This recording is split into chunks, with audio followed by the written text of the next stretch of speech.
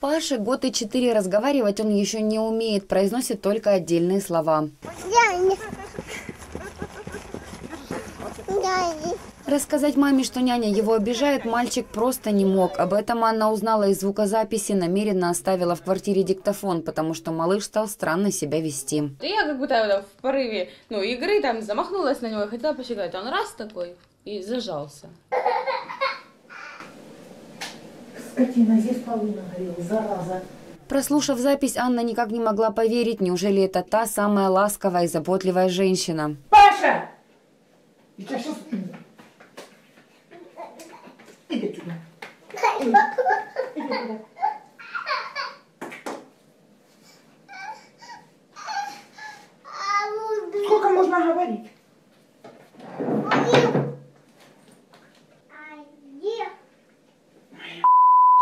Да что это за... Народ, ты посмотри, что он вытворяет, а?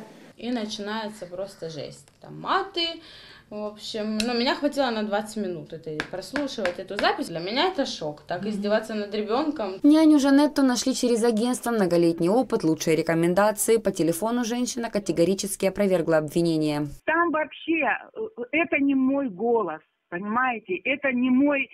Я не знаю, кто у нее в субботу подрабатывал или кого она уже взяла. Встречаться с журналистами женщина отказалась, сказала, что лечится после стресса. Дома был ее сын. Ну, ребенка зовут Паша, по-моему, да. А голос это мама? По-моему, нет. Не, ну, мама, как бы, просто я знаю мамин голос. В ответ на обвинение няня заявляет, женщина все выдумала, чтобы не платить ей за работу. Знаю, что от меня надо. Я у нее не работала в тот день. И она мне в последние, она мне вообще последнюю неделю не оплатила. Я у нее, честно говоря, собиралась уходить тоже, потому что там ну, уже невозможно было. Она кидала людей. Можно ли наказать няню за издевательство над ребенком? Юристы сомневаются. Ведь наверняка договор между наемником и работодателем был устным. Если мы говорим о моральном поведении няни, то здесь э, наказать и каким образом привлечь к ответственности проблематично, поскольку няня, она не является сотрудником детского сада, то есть это ваша внутренняя договоренность о том, что она будет э, следить за вашим ребенком, поэтому здесь каким-то образом ее привлечь к другой ответственности невозможно. Психологи говорят, именно в этом возрасте у малышей формируется отношение к миру, поэтому подобная жестокость опасна, так как может повлиять на дальнейшее развитие и поведение ребенка. И когда происходят похожие вещи, у ребенка как раз это базовое доверие и рушится. То есть ощущение возникает, что этот мир агрессивен, на меня нападает, меня некому защитить, я не знаю, что с этим делать.